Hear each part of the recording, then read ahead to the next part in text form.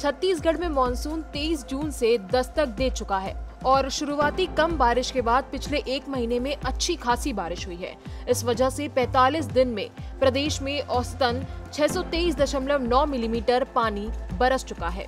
ये पूरे monsoon season में होने वाली 1142 मिलीमीटर बारिश का 55 फ़ीसदी है, यानी कि करीब डेढ़ महीने की बारिश में ही कोटे का आधे से भी ज़्यादा पानी बरस चुका है।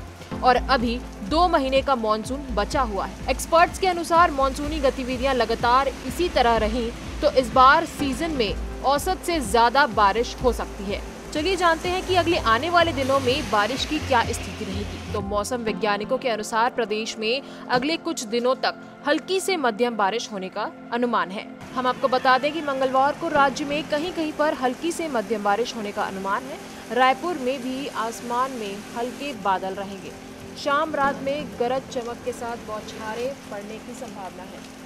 आज की इस वीडियो में बस इतना ही। वेदर अपडेट्स के लिए बने रहिए हमारे साथ। और अगर आपको हमारा ये वीडियो पसंद आया हो तो इसे लाइक और शेयर ज़रूर करें। और हमारे चैनल खबर विभाग को सब्सक्राइब करना ना भूलें।